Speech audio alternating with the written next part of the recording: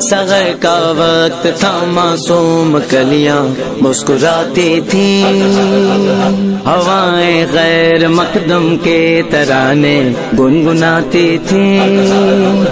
अभी जबरील उतरे भी नते के मिंबर से। कि इतने में सदाई अब्दुल्ला के घर से। मुबारक हो।